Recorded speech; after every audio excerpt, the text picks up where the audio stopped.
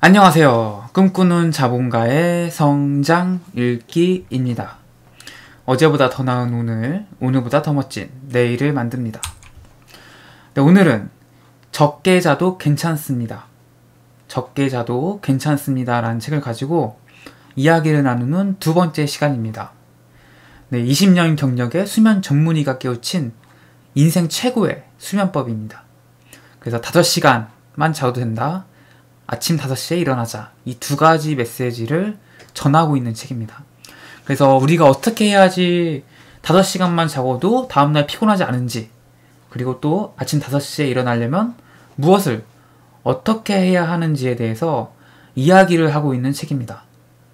네, 그래서, 어, 아침 일찍 일어나기가 굉장히 어려우시다. 혹은 아침 일찍 일어나고 싶다. 이러신 분은 이 책을 읽어보시면은 도움을 많이 받으실 수 있을 거라는 생각이 듭니다. 그래서 오늘은 그 세 가지를 한번 이야기해 볼 건데요. 첫 번째, 과학적으로 입증된 향기의 수면 효과. 두 번째, 알람 시계 없이 일어나는 방법. 세 번째, 수명 시간을 줄이는 규칙. 이 세 가지에 대해서 한번 이야기를 해보도록 하겠습니다. 네, 페이지 56쪽입니다. 과학적으로 입증된 향기의 수면 효과. 향기에는 인간의 심리 상태를 바꿔주는 효과가 있습니다. 수면을 돕는 향기 연구를 통해서 과학적으로 효과가 입증된 몇 가지 향기가 있습니다. 대표적으로 마음의 네 가지 향기가 있습니다. 다음이죠. 다음의 네 가지 향기죠. 라벤더, cedarwood, 커피, 양파. 어, 그 이제 지난 시간에 첫 번째 영상에서 제가 설명을 드렸죠. 일단은 우리가 기본적으로 음, 파블로프의 개 실험을 통해서 어, 입증이 된 조건 반사를 가지고 우리의 수면에 도움을 한번 얻어보자 라는 취지로 제가 말씀드렸습니다. 그래서 어, 침대 위에서는 잠만 자자. 침대 위에서는 뭐 스마트폰을 만진다든지 아니면 뭐 영상을 본다든지 아니면 뭐 책을 본다든지 이런 행위를 하지 말고 그냥 침대 위에서는 오로지 잠만 잔다라는 생각을 가지고 어, 침대 위를 깨끗이 치우고 거기서 잠만 자는 겁니다. 그걸 아니고 딴 걸 하게 되면은 그게 이제 습관이 돼, 가지고 침대 위에 누우면 자꾸 딴 짓을 해서 잠을 이제 못 자게 된다라는 잠을 제때 잘 수가 없다라는 이제 이야기죠. 그래서 어 근데 참 좋은데 아 침대 위에 누웠는데 진짜 아무것도 안 하고 누워 있는데 잠이 안 온다. 이러신 분들에게는 제가 또 거기서도 말씀드렸죠. 첫 번째 영상에서 뭐 따뜻한 허브차, 우유 이런 걸 드시거나 뭐 클래식이나 힐링 음악을 잔잔하게 들으신다든지 아니면 뭐 향기 뭐 이런 걸 도움을 받으라고 제가 말씀드렸습니다. 그럼 대체 어떤 향기를 어떤 뭐 반향제라든지 어떤 향기를 내가 맡으면은 내 수면에 도움이 될 것이냐 이거에 대한 이야기입니다. 그래서 여기서 네 가지를 이제 추천하고 있는데 첫 번째 라벤더, 두 번째 시더우드, 시더우드는 이제 노송나무 또는 삼나무 향이라고 합니다. 세 번째는 커피, 네 번째 양파입니다. 어, 저는 이제 라벤더하고 커피, 양파 이거 세 가지는 이제 알겠고 삼나무는 뭐 정확하게는 모르겠네요, 잘 어떤 향인지는 분명 맡았는데 제가 모르는 거겠죠. 어찌됐든 간에 이 네 가지를 이제 뭐 방에 조금 놓으시면은 잠잘 때 좀 도움을 많이 받을 수 있다라는 이야기를 하고 있습니다. 여기서 커피에 조금 의아하신 분이 있을 거라 생각이 드는데 이 책에 따르면은 이 책에 부가적인 설명이 들어 있는데 커피를 뭔가 마시는 거는 이제 카페인에 있어서 뭔가 도움, 뭐 수면에 방해가 될 수 있지만 커피의 향은 어, 우리가 수면을 취하는데 숙면을 취하는데 도움을 줄 수 있다고 합니다. 그렇기 때문에 커피의 향, 향을 맡는 것도 괜찮다고 이야기하고 있습니다. 그래서 커피 같은 경우에는 이제 커피 찌꺼기를 카페에서 무료로 주죠. 뭐 지나가시다 보면은 커피 찌꺼기 가져가라고 이제 아마 놓으신 게 있을 거예요.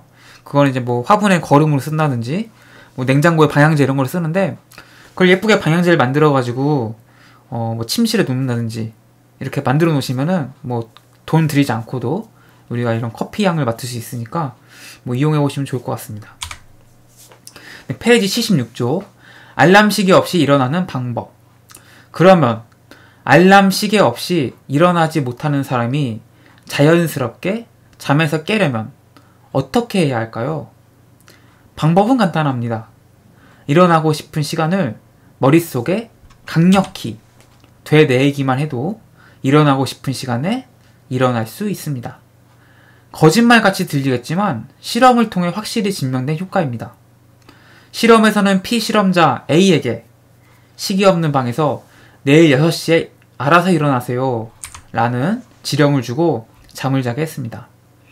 한편 피실험자 B에게는 조금 혹독한 실험일 수도 있지만 시기 없는 방에서 내일 9시에 알아서 일어나세요 라는 지령을 주고 잠자는 도중 6시에 깨웠습니다. 그리고 두 피 실험자의 부신피질 자극 호르몬의 분비 과정을 살펴보았죠.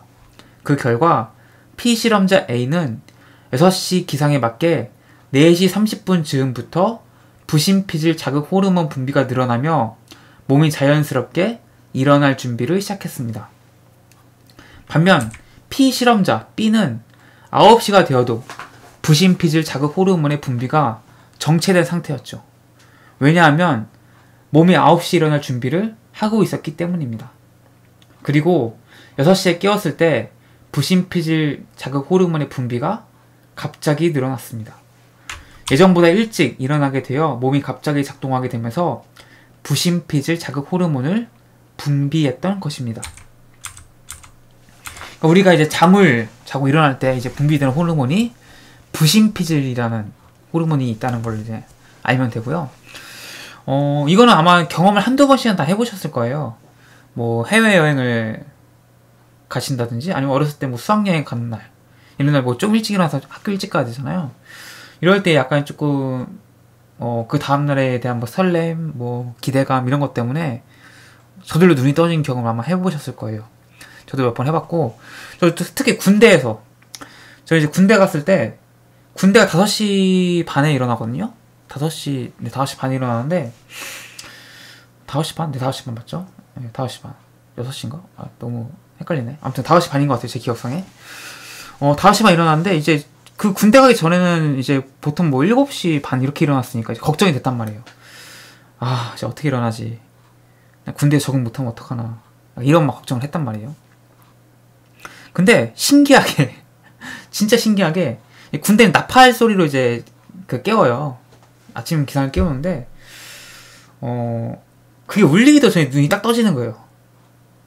그래서 좀 깜짝 놀랐어요, 진짜. 이게 그래서 이제 아 이게 부신피질 때문에 그렇구나라는 거 이 책을 읽으면서 알았는데 정말 우리가 그 전날 밤에 굳은 의지와 각오와 마음을 가지고 내가 내일 몇 시에 일어날 거야 하고 잠을 딱 자면은 그 시간보다 조금 일찍 일어나거나 그 시간에 딱 눈이 떠지는 경험을 할 수 있습니다. 저는 군대에서 이걸 진짜 많이 겪었고 또 이제 또 되게 신기한 게 군대에서 이제 제가 말씀드렸잖아요. 기상 나팔이 울려서 그러니까 녹음된 기상 나팔을 틀어서 이제 그 군인들 을 깨워요. 아침 기상 시간에. 그리고 이제 뭐 구보 뛰고 스트레칭하고 뭐 이렇게 하는 건데 운동하고 하는 건데 저녁을 하잖아요. 저녁을 하는데 갑자기 그 이제 안 일어나 되잖아요. 그 5시 반 이때. 갑자기 내가 눈이 딱 떠지는 거예요, 진짜. 군대 전역하고 얼마 얼마 있는 동안은. 그래서 그때 아 깜짝깜짝 놀랬고 진짜 또 요즘은 이제 또 어떻게도 하냐면은 아침 일찍 일어날 때 일부러 이제 제 알람을 그 군대에서 들었던 기상나팔로 설정을 해놓습니다. 이제 파블로프의 개처럼 이제 몸에 기억을 하고 있는 거예요. 이 기상나팔이 울리면은 딱 긴장 상태 딱 되면서 딱 눈이 딱 떠지는 거예요. 아마 전역한 남자분들 아마 공감 많이 하실 거예요. 아무튼 약간 좀 그런 거를 이제 이용하면서 저는 이제 아침 일찍 일어나고 있는데 음, 여러분들도 아마 이게 진짜 전날 밤에 그 내가 저는 10번을 외치라고 이야기를 하거든요. 제가 제 채널 영상에 아침 일찍 일어나는 법에 대해서 영상을 했고 그게 이제 거의 엄청나게 가장 인기가 있는 영상인데 제 채널에서 거기서 제가 말씀드렸어요. 그 영상에서도 전날 밤에 진짜 저는 처음에 아침 일찍 일어나는 습관 들일 때 10번을 외치고 잤어요. 나는 내일 5시에 일어난다. 나는 내일 5시에 일어난다. 나는 내일 5시에 일어난다. 나는 내일 5시에 일어난다. 나는 내일 5시 일어난다. 나는 내일 5시 일어난다. 나는 내일 5시 일어난다. 나는 내일 5시 일어난다. 나는 내일 5시 일어난다.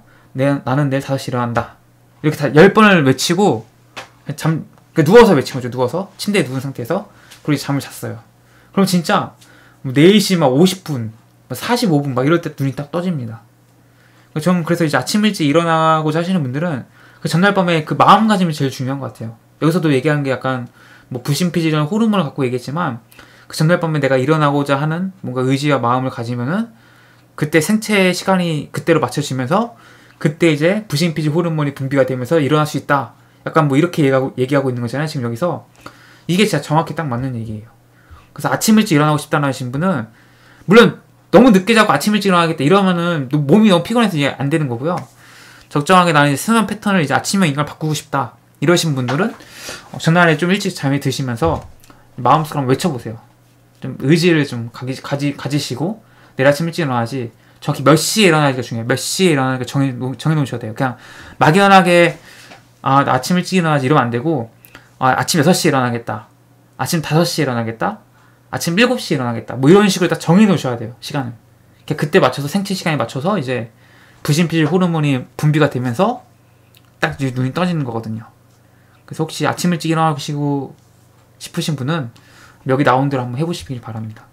전날 밤에 10번 외치시고 아, 난 내가 아침 일찍 일어날 거야 라는 각오, 결심 뭐 이런 거 한번 해보십시오. 수명 시간을 줄이는 아, 수면이죠, 수면. 아, 큰일 날 뻔했네. 수명이래. 수면 시간을 줄이는 규칙. 수면 시간을 줄이려면 반드시 지켜야 할 규칙이 있습니다. 규칙이라고 해도 특별히 어려운 것은 없습니다.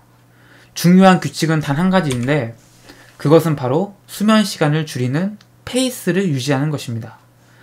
수면 시간을 줄이려는 마음에 내일부터 당장 1시간 정도 일찍 일어나는 사람들이 있습니다.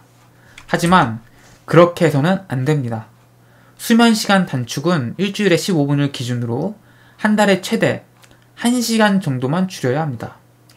인간의 몸은 급격한 변화에 제대로 대처하지 못하는 특성이 있습니다. 때문에 서서히 변화된 수면 시간에 몸을 길들여야만 하죠. 그러니까 이제 여기서는 어, 수면 시간, 수면 시간을 이제 잠자는 시간을 어, 줄이기 위해서는 한 번에 줄이지 말고 내가 원래 8시에 일어났으면은 뭐 10분에서 15분 땡겨보고 그게 또 이제 일어나지만 거기서 또 10분 15분 땡겨보고 또 또 거기 익숙해지면은 10분 15분 땡겨서 목표로 하는 시간에 조금씩 조금씩 다가가라는 이야기를 하고 있습니다. 어, 이거는 이제 좀 사람마다 생각이 좀 다른 것 같아요. 뭐 제가 다른 책에서는 이제 뭐 이렇게 뭐 점진적으로 하라는 메시지가 없는 책도 있었고 이 책에서는 이제 점진적으로 하라는 이야기인데 저 같은 경우는 이렇게 하진 않았어요. 저 같은 경우는 이렇게 점진적으로 하진 않았고 저는 이제 밤을 샜습니다. 그냥 밤을 새서 어, 제 수면 리듬을 초기화를 시킨다는 느낌으로 아예 밤을 새서 뭔가 그동안에 지켜왔던 수면 패턴을 어그러, 어그러뜨리고 그 다음에 다시 이제 피곤하잖아요. 그래서 일찍 자고 그 시간에 일어나는 걸로 해서 다시 새로운 수면 패턴을 만들어 갔습니다. 저는 여기서는 이제 10분, 15분씩 땡기라고 이 책의 저자가 이야기하고 있는 거고, 어, 뭐 저도 생각을 해보면 사실은 이제 한 30분씩 땡기긴 한 것 같아요. 처음에 아침형 인간, 아침 일찍 일어나기를 이제 하겠다고 했을 때 일어난 시간이 어, 5시였어요. 근데 거기서 4시 반으로 땡겼고, 다시 4시로 땡겼다가, 4시에 다시 3시로 땡겼거든요? 네, 지금 3시에 일어나고 있는데, 아무튼 뭐, 그렇게 이제 땡겼습니다. 저는 저 같은 경우에는 뭐 이게 점진적이나 점진적이고 뭐 급작스러운 급작스럽게 땡긴 건데 이거에 대해서는 뭐 본인의 취향에 맞게 해보시면 될 것 같아요. 저는 뭐 일단 기본적으로 새로운 수면 패턴 만들려면은 저는 항상 밤을 새서 뭔가 좀 어그러뜨리는 스타일이에요. 그동안에 지켜왔던 걸 관습적으로 뭔가 계속 진행될 것 같은 걱정이 돼서 그냥 아예 지금까지 가지고 있던 수면 패턴을 버려버리고 다시 내가 새로운 수면 패턴 만든다는 그런 새, 새로운 마음 이것을 제 몸이나 제 뇌한테 이제 신호를 주고 다시 이제 어 새롭게 이제 일찍 자고 일찍 일어나는 거죠. 저는 그렇게 했습니다. 이 책의 저자의 말은 10분, 15분씩 조금씩 조금씩 땡기라는 거예요. 이거는 뭐 각자 해보시고 각자 해보시고 뭐 본인한테 맞는 걸 하면 되는 것 같습니다. 그래서 적게 자도 괜찮습니다. 적게 자도 괜찮습니다라는 책을 가지고 이야기를 나눠봤습니다. 제가 총 두 개의 영상으로 이거 이, 이 책을 리뷰해봤고요. 어, 뭐 두껍지 않아서 굉장히 뭐 읽기 편한 책이고 또 어떻게 해야 아침 5시 일어날 수 있는지 그리고 왜 5시 일어나는지에 대해서 잘 설명하고 있는 책입니다. 그래서 일찍 일어나고 싶은 뭔가 생각이 있으신 분, 마음이 있으신 분, 이런 분들은 한번 읽어봐도 괜찮습니다. 뭔가 어, 실질적인 지침서라고 해야 될까요? 뭔가 구체적인 방법을 제시해주고 있기 때문에 뭐 그대로 따라서 하면은 음, 누구나 할 수 있다고 저는 생각을 합니다. 네, 꿈꾸는 자본가의 성장 읽기는 1일 1성장, 성장하는 책 읽기를 지향하고 있습니다. 경제적 자유, 자기개발, 성장에 대한 다양한 이야기를 나누고 있고요. 이러한 분야에 관심이 있으신 분이라면 구독과 좋아요를 눌러주시면 감사하겠습니다. 오늘도 함께 해주셔서 감사하고요. 저는 다음 시간에 뵙도록 하겠습니다. 고맙습니다.